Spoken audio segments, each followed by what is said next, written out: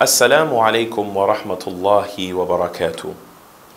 We have a beautiful hadith that is reported on the authority of Ubadah ibn as-Samit radiyallahu anhu, in which he reports that the Prophet Muhammad sallallahu alayhi wasallam has said, "La darara wa la dirara," that there should be no harming and no reciprocation of harm لا ضرر ولا la. There should be absolutely no harming and no reciprocating harm. My dear brothers and sisters, Allah subhanahu wa ta'ala has created us and has placed us on the world to act and to carry ourselves in an honorable manner and fashion. Certainly, Allah expects good from us and we should strive each and every day to be good to our neighbors and good to our relatives, and be good stewards on the planet, making sure that we are absolutely holding on to our position as guardians and not trying to pollute and destroy this world, but to live in a harmonious way, atan al until certainty reaches us, and that certainty is death, which will reach each and every one of us.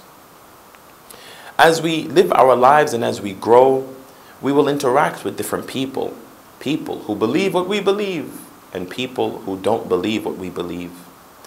We will interact with people who may irritate us or cause us to become angry, who may try to provoke us and try to get a reaction out of us. Regardless of how we are treated by those who are around us in their evil ways and evil speech, the Prophet ﷺ has prohibited for us to harm people intentionally. We should never take a position in which we are harming the people who are around us, whether they are Muslim or whether they are not Muslim.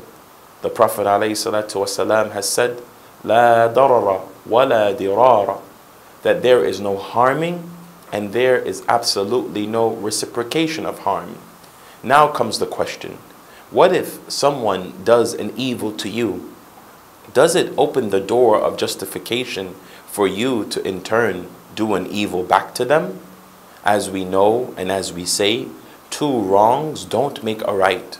It is better for you not to harm anyone who has harmed you. Rather, it is best if you safeguard yourself in a manner in which you protect yourselves from being harmed again by that same individual.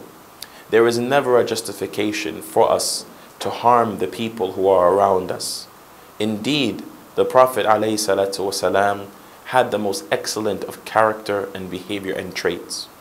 Look at his uncle, Abu Lahab.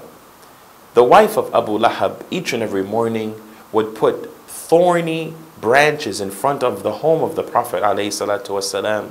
So when he would leave his home, he would step on it and injure his feet. Even when the Prophet moved to Medina, he had there a Jewish neighbor who would put garbage in front of his door every single morning that he would leave his home. How did he respond to his aunt? How did he respond to this Jewish neighbor? They harmed him. Did he reciprocate and harm them back? Society would tell us that we should kick the door in and that we should deal with them, that we should yell and scream. Rather, the Prophet ﷺ simply understood what was happening and moved the branches from in front of his home.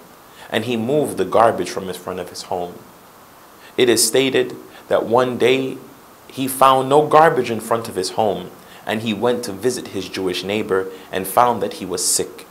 When the neighbor realized the Prophet was there and the Prophet asked, I found no garbage in front of my home this morning, so I am checking on you. This Jewish neighbor immediately recognized the attributes of prophethood and said, Ashadu an la ilaha illallah wa ashadu anna Muhammadan Rasulullah sallallahu alayhi wasallam. Dear brothers and sisters, there is no harming and no reciprocating of harm. We ask that Allah subhanahu wa ta'ala help us to embody such noble characteristics and that He send His finest peace and blessings on the Prophet Muhammad sallallahu alayhi wasallam. Allahumma salli wa sallim ala nabiyyina Muhammad. سبحانك اللهم وبحمدك أشهد أن لا إله إلا أنت أستغفرك وأتوب إليك